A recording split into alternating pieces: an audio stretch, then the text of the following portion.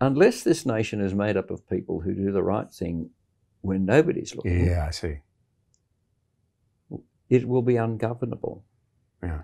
Because one of the mistakes often made, I think, by well, uh, one of the mistakes that's often made is the belief that somehow the law will fix things. Yeah. There are two great sa- saviors uh, that people think are going to save us education and the law. Now, as uh, I think it was G.K. Chesterton said, if you educate devils, you'll end up with educated devils. Education is a wonderful thing, but it won't save us. It you create clever people, it won't create good people on its own. Now, the other thing is about the law. People think, well, if we pass sufficient laws, we will force people to do the right thing. And again, law matters. That's perfectly true. Uh, and uh, it, it does serve a function. But you cannot ex- so exalt the law as to think that by having laws, you are going to create good people who will keep the law even when you're not watching. The taxation laws of this country, I believe, are so vast, so complicated. Why? Because clever people keep breaking them Yeah. or getting around them. That is absolutely right. Then you have to make a new one. That then you have to make a absolutely new right. one. yeah, it's almost a game. We Uh, need people. Gaming the system is, all- uh, you know, is, is, is become a national uh, uh, sort of art form. We need people who, like my father, pay their taxes without trying to buck the system. And then, then everyone will pay lower taxes. everyone will pay lower taxes and without having to be checked up on. So if people won't do what they should do voluntarily, we end up seeking to coerce them. We do. And work. then what's missed is that freedom is lost. and freedom is seriously lost. Yeah. If you want to have a great nation, make America great, it's really make America good. Because the goodness, now don't forget I'm talking about human beings both being both bad and good, but we do need that which is good to triumph in order for the system, for a democratic system to work. Won't Well, work otherwise. You yourself actually said in 2005 that true freedom can only be found in a moral society. Furthermore, a moral society can only arise when we understand the truth about human nature, that it contains evil as well as good. So, and you've said it again, really. The more Yes. we depart from true morality, doing the right thing by our neighbour Yeah. without coercion, No. the more we can expect freedom to decline. And we will have a corrupt society. But you know, lots of ideologies claim to present a better way forward. So you think of liberalism, Marxism, feminism, conservatism. They'd all claim to be standing for justice and freedom and equality, at least in terms of what they said to their potential voters. Yet they often advocate radically different sorts of societies, uh, liberalism and communism in particular. Why is it that everyone claims to be in favour of justice, freedom, and equality, and yet have very different views on what they might look like? This is a real problem. We don't agree Yes, on what these things might look like. yes. And um, John, I have to say, I don't know. I will give my opinion for what it's worth, but these are complex issues again, and we need to be careful of uh, simple, simplistic answers to them. Uh, but it seems to me that if you if you went back far enough into these ideologies, maybe even to Marxism, you will find that they have arisen from a profoundly Christianized society, and that the uh, the choice of a particular virtue or a particular way of, of doing things, unfortunately, has laid aside certain other things which belong to the Christian society. Uh, but to talk about justice, to talk about freedom, these are Christian ideals. Uh, the same is true of individualism, for example. Uh, the, the power of the individual in Western culture, uh, I believe I'm right in saying, there are authors who say this who are more learned than me, arise from the pages of the New Testament, where the, where the individual is cherished. Now, if you take that, that's fine, but if you take that and take it out of its context and don't recognize that the, the individual is cherished, but also the community is cherished, if you take its context away, you will end up with a perverted view of what justice is and what these other things are. Yeah, it relates to what we were talking about earlier. So, but in essence, I've sometimes said to people, look, if you want to pursue the doctrine of the individual, I can say, hooray, I'm glad you recognise me Yeah, as an individual, indeed. and I'm glad to be an individual, Indeed, but it obliges me to recognise you as an individual. yes, you are on that side of politics. uh, but yes, indeed, and it, It's not a it one-way has thing. that. No, indeed. I'm not paramount over other individuals because I'm recognised as an individual. The uh, it's not a hierarchy. Yeah. in that sense. Mind you, the individual, what we do need to observe, and this is where sometimes uh, an excessive egalitarianism has gotten in the way, where people confuse equality with sameness.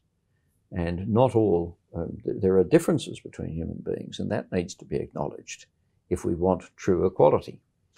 Uh, but, uh, uh, but I'm agreeing with you. On the other hand, as well as that strong sense of individual, which is characteristic of the, um, the liberal, uh, liberal nationals. Sorry, I almost said country party then. Uh, is characteristic of that of that philosophy.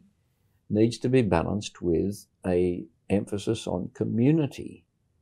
Uh, I'm a great believer in trade unions. I'm not sure if they're the trade unions we have, but nonetheless, I'm a great believer in the union movement. I think it's immensely important that uh, people without a great deal of say in the community can get together and have their say. Uh, this uh, essential. If we, if we lost the union movement in this country or something like it, we would be in a bad way.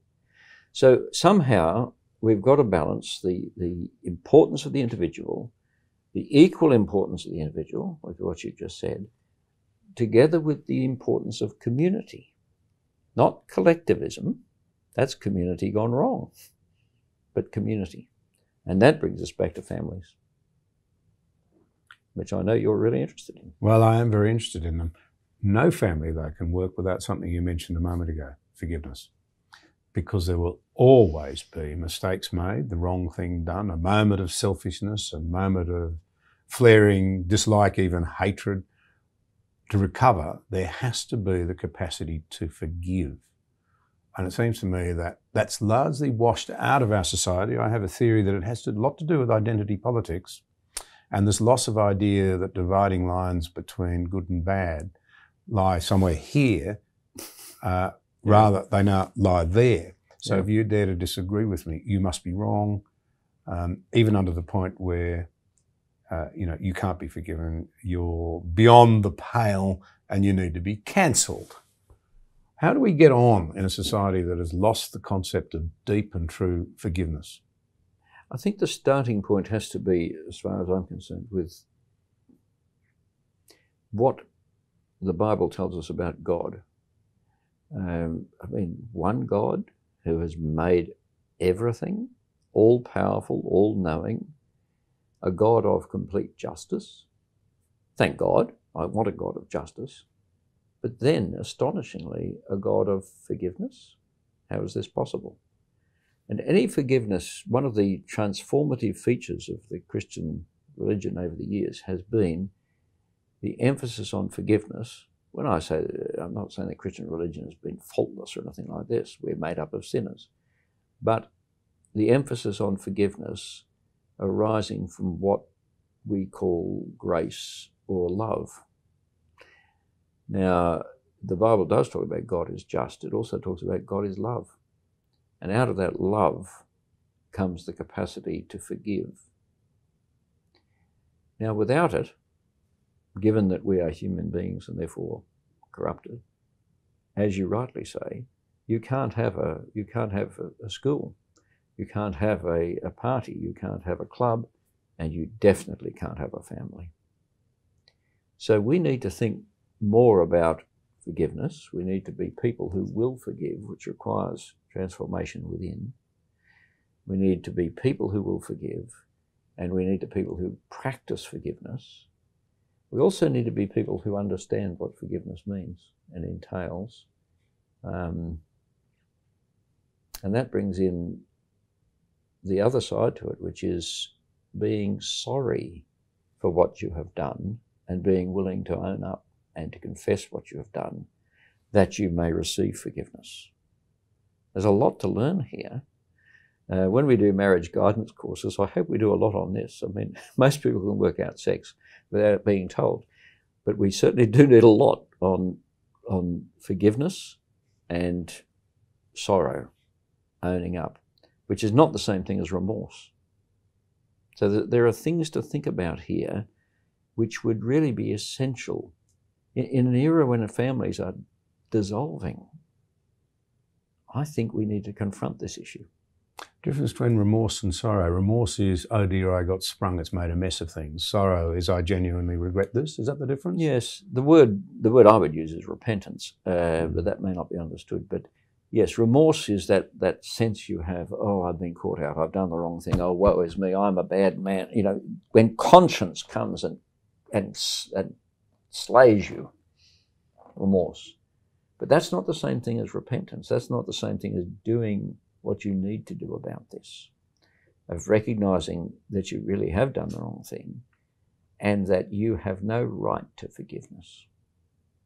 A remorseful person often thinks that they have the right to be forgiven, but no one ever has the right to be forgiven. A repentant person will say, I am not worthy to be forgiven. Would you please forgive me? But recognize that I don't deserve to be forgiven. I think that's the difference. And you may live with a remorseful person, you know, they, they do something, they, they get drunk once a week, whatever it is, and Monday morning they're always remorseful. That's not repentance. Repentance is saying, I'm not going to touch it again. Did you enjoy this episode? We cannot get good public policy out of a bad debate. If you value vital conversations like this one, please like, share, subscribe, and join the conversation.